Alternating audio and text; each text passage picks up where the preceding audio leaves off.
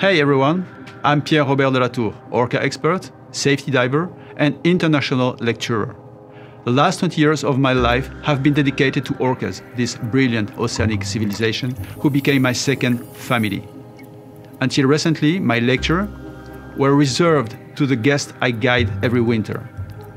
Time has come to share with all of you this experience made of 20 years of underwater close encounter with orcas and large whales. In this series, called USEA Presentation, I will first introduce to you our network and explain the base of USEA. I will explain to you how to snorkel with orcas in Norway and tell you more about their diet and their behavior. We're going to visit other places and see how orcas are worldwide predators and so the evolution of this apex predator we're going to explore their biology, their sociology, and their amazing communication system, which is the key to the secrets they keep in the ocean depths.